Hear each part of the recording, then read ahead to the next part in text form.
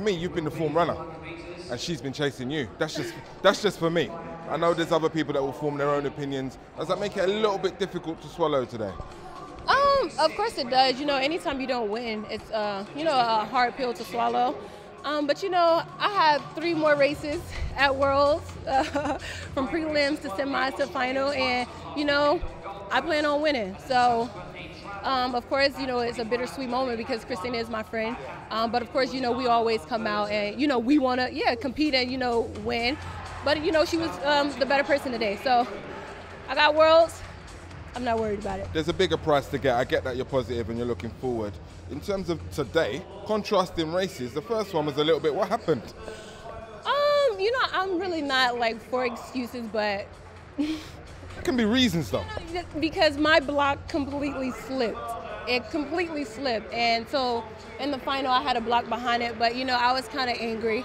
Um, but I had to reset because I did have finals. So, you know, for me to be able to reset and come out there and run under eight seconds, I was very impressed with that, but I was pissed off after prelims because I'm like, you know, you expect the blocks to stay in place. So um, that happened, and unfortunately, I was able to still make the final. So I said, okay, just reset, refocus, and that's what I did, and I was able to run under eight seconds.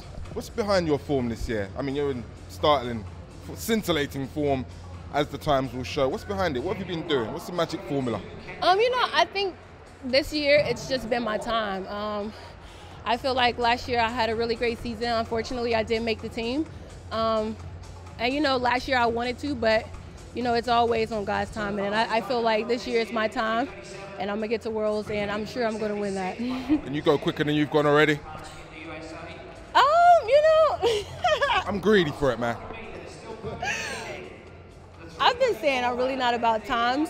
I'm gonna I'm gonna run the winning time. Whatever that is, that's what it is. Good luck. We'll be there. Good luck, yeah. Thank you so much.